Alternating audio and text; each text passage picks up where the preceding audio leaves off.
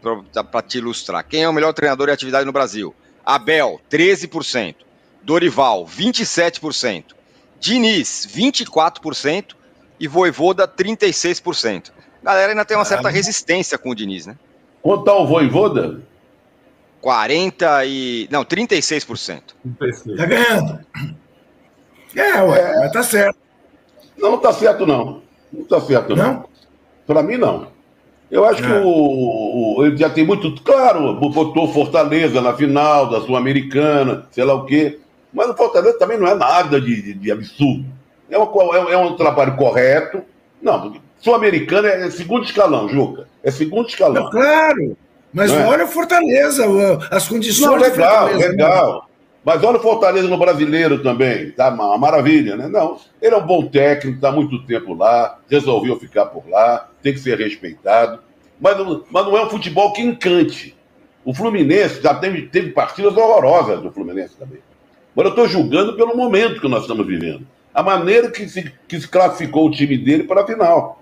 É, essa, essa enquete, galera, eu estou detestando a enquete agora, viu? Eu não meti o pau no livro, estou metendo o pau agora. Isso, agora. Que, que, que, que aponta o seguinte: primeiro, um protecionismo em relação ao técnico do Fortaleza.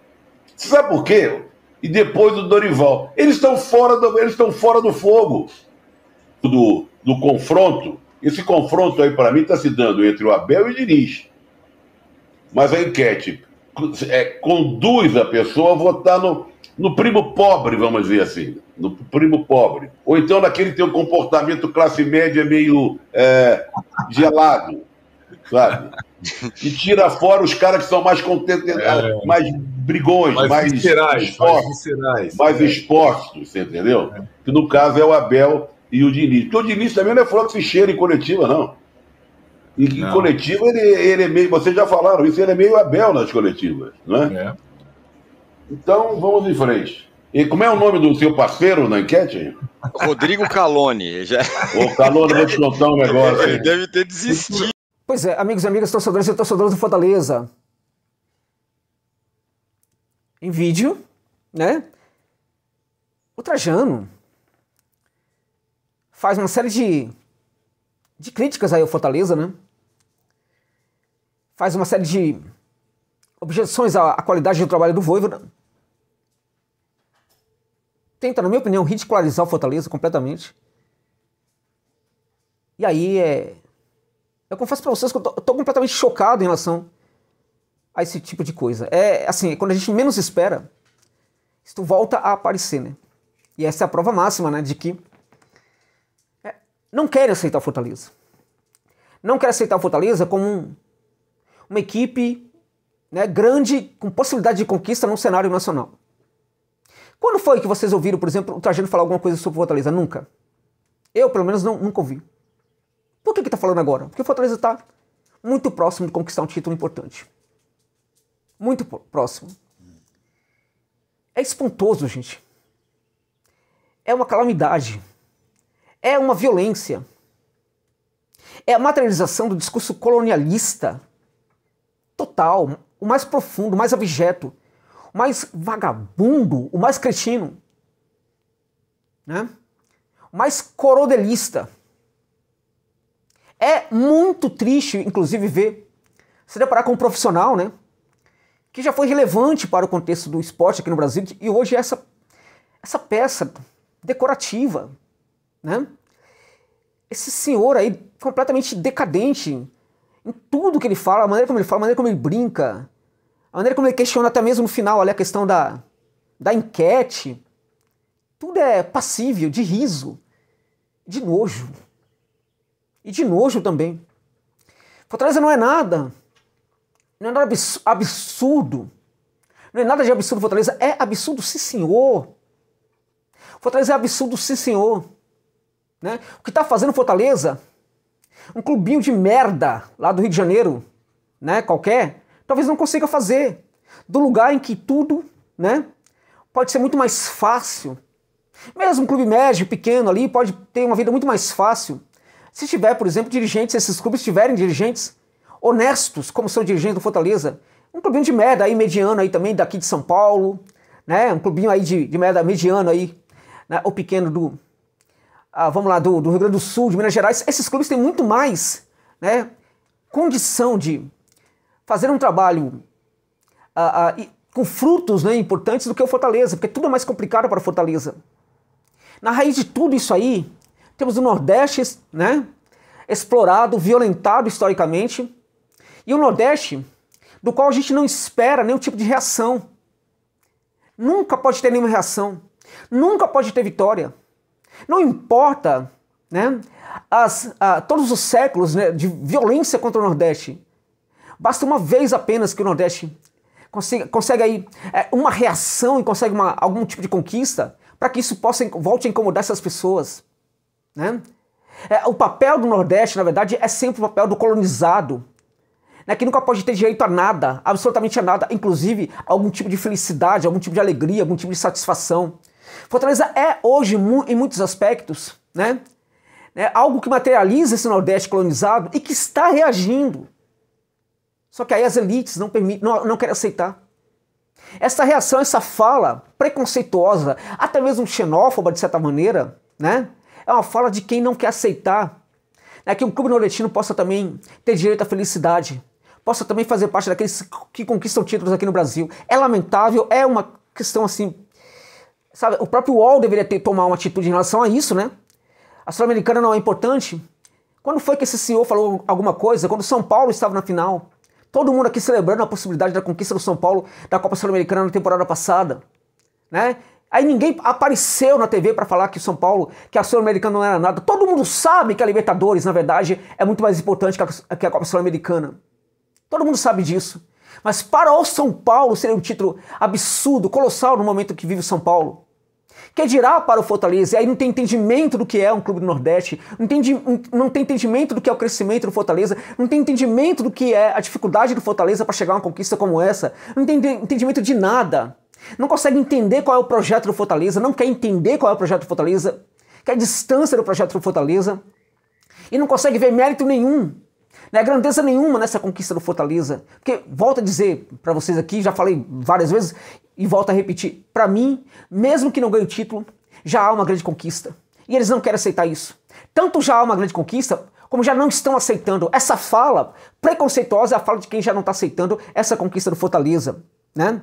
Estamos jogando um momento, ele fala no, no vídeo, né? Estamos jogando um momento, né? E aí ele fala, por exemplo, é, ele fala do Abel, que neste momento o Abel merece muito mais ser celebrado. O Abel, o torcedor do Palmeiras não aguenta mais o Abel, gente. Um grande técnico da história do Palmeiras, que neste momento, precisamente neste momento, se a gente for jogar o momento, é um dos técnicos com péssimo trabalho no futebol brasileiro. Poucos estão aguentando ele hoje no Palmeiras. Se a gente for, evidentemente, jogar este momento, se a gente for jogar este momento, a gente precisa ver o que o Fortaleza fez. Fortaleza eliminou um gigante do futebol brasileiro para chegar à etapa de final da Copa Sul-Americana. Como não, não, não jogar esse momento e não valorizar esse momento? Só não valoriza realmente quem não quer. Quem não quer aceitar que o Nordeste também possa ter felicidade, que um clube nordestino possa ter também conquistas, grandezas e entregar felicidade e alegria para, para os seus torcedores e torcedoras também, não é isso?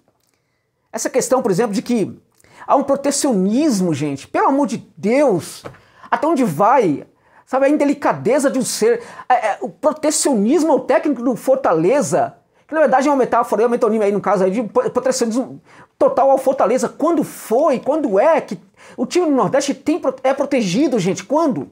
É o contrário. Agora ele quer, na verdade, é, mais, é como se estivesse invertindo as coisas, né? Ele está invertindo. Para ele, o Fortaleza é o poderoso, no caso aí, né? Né? O poderoso que merece tal, é, é, enfim, que não, não pode ter esse prestígio todo, não pode ter essa proteção toda, né? E tudo mais tal. Quem sempre teve proteção e quem sempre continua a ter e vai ter são os clubes aqui do Sudeste, né? Então quando o Fortaleza rompe com isso daí, consegue um, um pouco de felicidade aí, então ele está sendo protegido, é isso? Porque essa fala é uma fala que desmerece o projeto do Fortaleza. Segundo essa fala, o Fortaleza está né, tá conseguindo se dar é, bem de alguma maneira, né? Embora não haja esse reconhecimento, mas há um sentimento de que isso acontece, evidentemente, né? Só que o preconceito não deixa isso aí é, aparecer, né? Então, na verdade, essa abordagem de que o Fortaleza tem proteção, que o técnico Wolver tem, é, é, protegido, isso desmerece o projeto do Fortaleza, isso desmerece, desmerece o trabalho do Voivoda, a qualidade do trabalho do Voivoda. Isso é imperdoável, gente. Imperdoável de um ex, né? É, de um ex uh, uh, uh, jornalista, né? Um ex-jornalista em atividade, e ele mostra mais uma vez que ele é um ex-jornalista em atividade, mas um jornalista que já foi importante para o contexto do esporte no Brasil. Né? É muito triste um negócio desse. Primo pobre, sabe? Ah, uma enquete que está tá protegendo o primo pobre. Se há alguma enquete aqui no Brasil, se há alguma, tal, alguma situação, algum elogio, tudo isso é merecido ao Fortaleza. Tudo isso é merecido. Ele, ele, ele vai ao, ao absurdo né, de questionar a, a, enquete, a qualidade de quem fez a enquete, só porque né, essa enquete mostra o técnico Fortaleza num momento melhor do que outros técnicos que trabalham aqui no Brasil. Que situação complicada. Agora vamos lá, né? As elites de novo, né, gente? A elite carioca, né? Porque esse senhor pertence à elite carioca. Esse senhor que, por um milagre, está vivo, né? Sabemos do que eu estou falando, né, Trajano? Sabemos, né? Parabéns aí por ter conseguido, apesar de tudo, né? né? Você me lembra muito um conto bem interessante de um escritor francês chamado Sartre, chamado A Infância de um Chefe. É isso mesmo, né? É claro que tem acontecimentos ali é, neste conto aí da infância do chefe do garoto quando é criança, da jovem, adolescente e tal, que eu não sei necessariamente que se aplicam a você. Não sei, vai saber. Eu não sei, né? Agora, é, o mais interessante ali é ver o que, que um né, um filho da nobreza, das, das elites, né? Tem o direito a fazer, tem o direito a ser idiota, a ser não sei o quê, a fazer o que quer, né? A, enfim, faz o que quer com a vida, né? Cheira toda se precisar, né? Fuma toda se precisar também, né? Enche a cara se precisar, faz o que quiser. Pode, pode se vagabundear à vontade, né? Porque no fim das contas é, está assegurado para ele, né? Um posto ali, né, de domínio na sociedade. Não é isso? Porque este é o caminho, na verdade, de alguns pequenos chefes da elite, né? Alguns adolescentes, né? Chefes da elite, que têm o direito de fazer tudo, tudo, meus amigos e meus amigos, vocês que torcem para Fortaleza, tudo que vocês não imaginam, alguns têm o direito de fazer. E depois acabam tendo né, uma posição de domínio aqui na sociedade brasileira, né? Então, na verdade, né, o autor dessas falas aí me lembra muito a personagem desse conto do Sartre, né? Porque nós sabemos, Trajano, nós sabemos muita coisa. Nós sabemos, por exemplo, né, ainda bem para você, para sua família e tal, que é um verdadeiro milagre o fato de você estar tá vivo agora, né? Ok? Então respeita mais o Fortaleza, meu irmão. Respeita, respeita mais. Respeita mais o futebol brasileiro. Isso que você fez foi uma indecência. Uma grande indecência com um dos maiores clubes do futebol brasileiro. Respeita a paixão do torcedor. Quando você humilha o Fortaleza desse jeito, você está humilhando né? As emoções que estão lá, ali dentro do torcedor, está tá humilhando um orgulho que está saindo da alma desse torcedor que estava lá, encurralada, encurralado, um orgulho encurralado, aprisionado. Não somente pelo próprio, pela própria dificuldade de Fortaleza, mas por muitas outras coisas também que são colocadas né, de forma violenta sobre o Nordeste no geral, sobre a sua, sua política, o seu povo, a sua história, a sua cultura, né, e claramente o seu futebol também. Né? Então sua fala vai contra tudo isso. Sua fala vai contra esse orgulho, né? que é uma espécie de reação a todo o sofrimento que houve, a toda a humilhação que houve historicamente. Então quando esse orgulho eh, brota, aparece, vem você jogando pedras em cima desse orgulho das pessoas.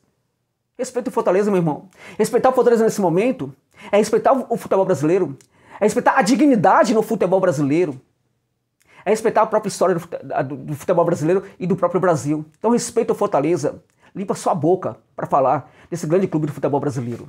É isso.